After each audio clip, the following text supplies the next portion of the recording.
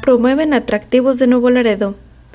Para promover los atractivos de este puerto fronterizo y ofrecer una cómoda estancia a sus visitantes, el gobierno municipal distribuirá cerca de 70.000 folletos con información de utilidad en diferentes puntos estratégicos de Nuevo Laredo y Laredo, Texas, como parte de una campaña permanente.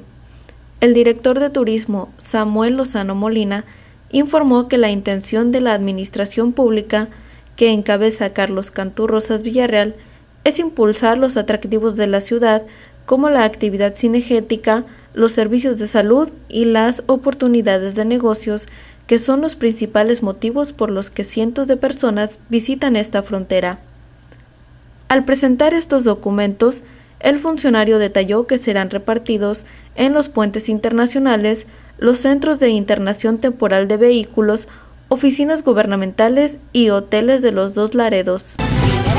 Sancionan a negocios por venta de alcohol fuera de horario. En lo que va de este año, la Dirección de Comercio, Alcoholes y Espectáculos ha sancionado alrededor de 20 tiendas de conveniencia, la mayoría por vender bebidas embriagantes fuera del horario permitido. Luis Enrique Pedrosa Lomas, director de dicha dependencia, señaló que las multas van desde los 5 a los 30 mil pesos, de acuerdo con la irregularidad en la que incurra el negocio. Precisó que las tiendas fueron notificadas oportunamente para corregir las faltas y cumplieron con las disposiciones luego de que fueron amonestadas. Pedro Salomas exhortó a los propietarios de abarrotes, depósitos y tiendas de conveniencia a que acaten las disposiciones municipales, ya que en caso de lo contrario, la sanción es la cancelación definitiva de la licencia de funcionamiento. Aplicarán 390 millones de pesos para más seguridad. La cobertura de los convenios que en materia de seguridad se tiene entre el Estado y los municipios se habrán de ir cubriendo de manera paulatina con los recursos provenientes del crédito autorizado por el Congreso del Estado desde el año anterior, indicó Miguel González Salum. Ello luego de ser consultado al respecto y sobre una explicación acerca del destino que finalmente se va a dar a estos recursos una vez aterrizados en Tamaulipas.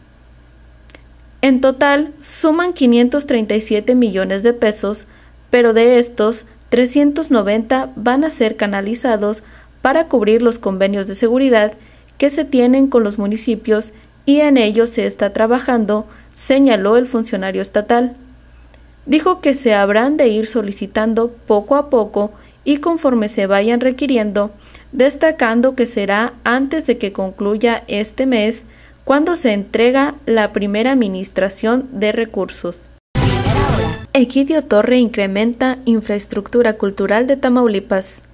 Como parte de las acciones para el rescate del patrimonio histórico edificado, el gobernador Egidio Torre Cantú presentó el proyecto de reconstrucción de la Casa Filisola como espacio cultural en beneficio de la comunidad artística y de la sociedad civil de la entidad. El nuevo edificio tendrá una inversión superior a los 21 millones de pesos de manera conjunta Gobierno del Estado y Gobierno federal a través de la CONACULTA, lo cual permitirá ampliar la oferta cultural en el Estado. El proyecto consta en abrir un espacio de más de 2.000 metros cuadrados con dos salas de exposición, salón de usos múltiples, talleres, sala de consulta y audiovisual, librería, cafetería, área para investigadores, área administrativa, servicios sanitarios y estacionamiento, entre otros. La Casa Filisola es un edificio de gran arquitectura del año 1894 ubicado en la Avenida Hidalgo entre las calles Emiliano Nafarrete y Casper de la Garza en pleno centro de la ciudad y que conserva su diseño original. Esto ha sido todo por hoy. Lo invito a visitar nuestra página que es www.primerahora.com.mx donde encontrará más información. Hasta pronto.